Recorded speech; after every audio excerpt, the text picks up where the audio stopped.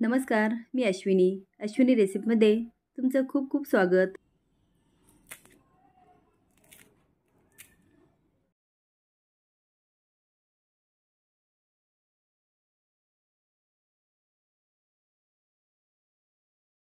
त्यामध्ये फक्त आपल्याला दोन चमचे मैदा घालायचा आहे खूप नाही.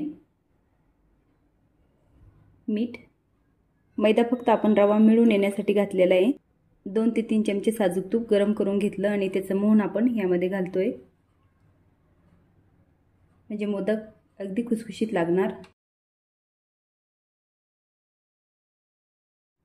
तूप मी याला व्यवस्थित सगळीकडं चोळून घेते. एवढं पाणी घेतलेलं आहे आणि थोडं थोडं घालून मी घेणार आहे. कारण याला पाणी जास्त लागत नाही.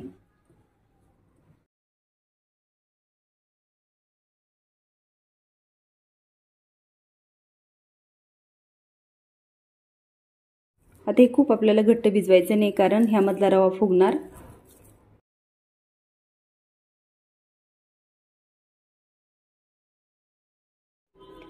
आता ह्यामधला रवा फुगण्यासाठी आपल्याला हे एक तास झाकून ठेवायचं. मोदकाचं सारण करण्यासाठी एक वाटी खोबऱ्याचे किस किंवा डेसिकेटेड कोकोनट मी हे डेसिकेटेड कोकोनट घेतलेले आहे. दोन चमचे खसखस. मी थोडीशी भाजून घेतली. ज्या वाटीने खोबऱ्याचा किस घेतला ती एक वाटी रवा. रवा मी कच्चा नाही घेतलेला. कढईमध्ये साजूक तूप टाकलं आणि कलर बदलेपर्यंत घरामध्ये सुगंध पसरेपर्यंत तो खरपूस भाजून घेतला. आपण बघू शकता त्याचा कलर आता त्याच वाटीने घालते मी पाऊन वाटी पिठी साखर. आता गोड आपल्या आवडीनुसार कमी जास्त केलं तरी चालेल. आता यामध्ये टाकते मी मणुके. काजूची काप बदामाची काप एक चमचा विलायची आणि थोडीशी जायफळ पावडर. ते सगळं व्यवस्थित मिक्स करून घेते. इथे आपलं सारण तयार झालेलं आहे. गणपती बाप्पा आले की आपली खूप घाई होते. जर आपण येण्याच्या पहिलेच असे मोदक करून ठेवले तर कमीत कमी हे मोदक दहा ते पंधरा दिवस आरामशीर टिकतात.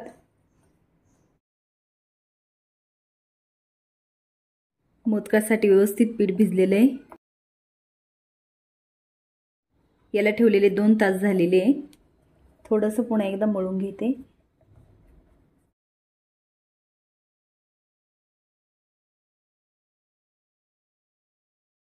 हे एवढे छान भिजलं की तेल किंवा तूप लावायची काहीच गरज नाही.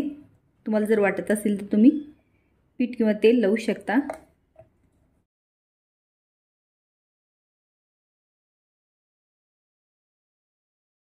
आपल्याला एवढी पातळ लाटून घ्यायची आहे.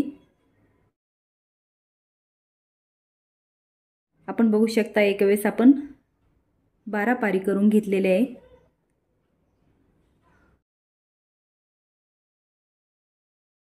मोदकासाठी एवढ्या पाऱ्या होऊन पण आपलं एवढं पीठ त्यामधून निघालेलं आहे. म्हणजे यामधून भरपूर मोदक आपले अजून तयार होणार.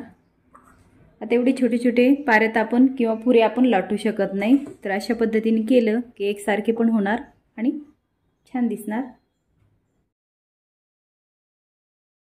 आता एक एक आपल्याला हातावर घ्यायची अशी.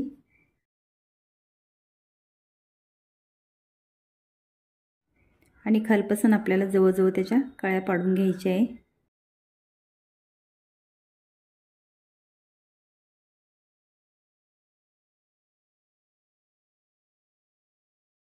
आणि असा मोदक तयार झाला की आपण अजून त्यामध्ये सारण भरू शकतो. म्हणजे मोदक खाण्यासाठी भरगच्च लागणार. जास्त सारण असलं की मोदक छान लागतो. अलगत हातानेच आपल्याला दाब द्यायचा आहे म्हणजे त्याच्या कळ्या तुटणार नाही.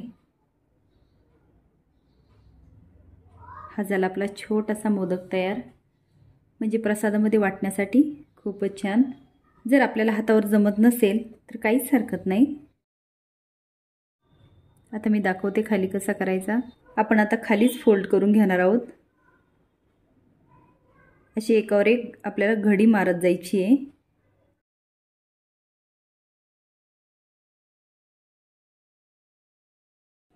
आपण बघू शकता त्याची छान पोटली तयार झालेली आहे.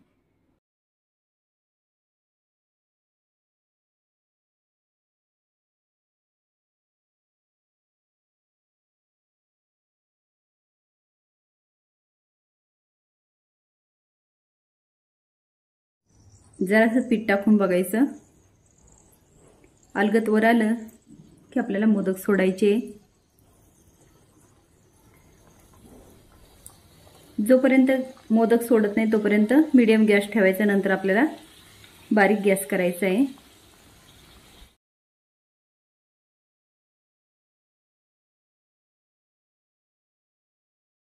मंद आचेवर आपल्याला हे तळून घ्यायचे म्हणजे ते आतपर्यंत छान तळणार. आता तळताना मोदक आपल्याला थोडंसं वरखाली करत राहायचं आहे जेणेकरून सगळ्या बाजूने ते व्यवस्थित तळणार. आवाजावरूनच कळतं मोदक किती खुसखुशीत होणार. हे मोदक मी साजूक तुपामध्ये तळले कारण साजूक तुपामुळे अतिशय सुंदर अशी चव येते. आता मी गोल्डन फ्राय करून घेतलेले. आहे थोडासा गुलाबी रंग त्याला आलेला आहे. आता काढून घेते. आपण बघू शकता त्याचा आवाज. आत्ताच एवढे खुसखुशीत झाले थंड झाल्यावर ते अजून खुसखुशीत लागणार. मी आता काढून घेते.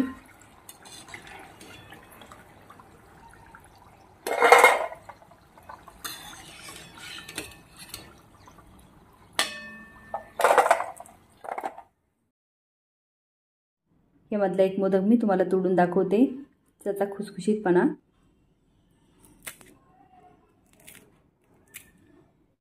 तुम्ही नक्की ट्राय करा. आवडल्यास कमेंट बॉक्समध्ये सांगा. लाईक आणि सबस्क्राईब पण करा. धन्यवाद.